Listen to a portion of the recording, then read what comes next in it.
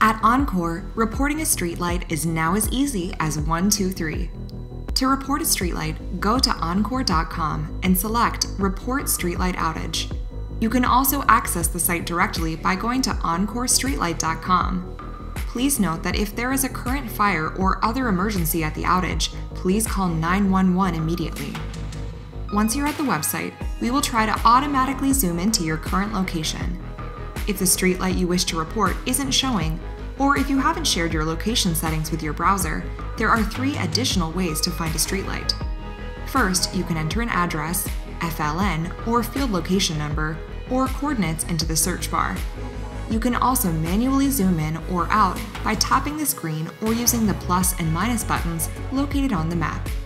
Remember, streetlights may not show on the map until you zoom in further. If you want to reorient the map to your current location, simply click on the current location icon. The map also has three different types of views for your convenience map, satellite, and street view. Once you find the streetlight you wish to report, click on the circle. Once selected, the circle will turn red and its information will show on the panel. OncorStreetlight.com will provide the FLN or field location number, GLN or grid location number, as well as the approximate address. If you would like to report an outage at your selected location, select the most appropriate issue and outage reason.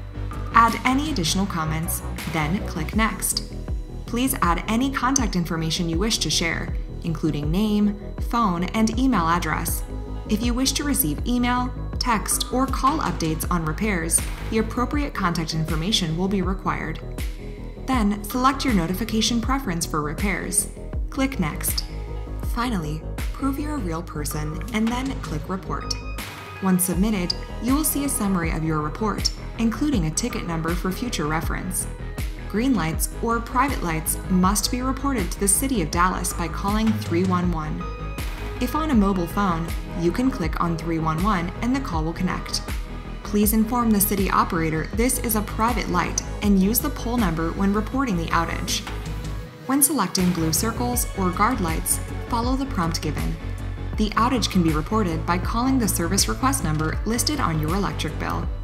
It is possible that some lights may not show on the map. These include freeway lights owned by TxDOT and streetlights owned by homeowners associations. Oncor does not own or maintain these streetlights. Also, Oncor Design and Construction continues to install service to new streetlights, roadways, subdivisions, or requests by cities for additional lights. Got additional questions? Please look at the Q&A section on the website or send us an email at contactcenter at oncor.com. You can also report an outage via our 24 7 hotline at 1 888 313 4747.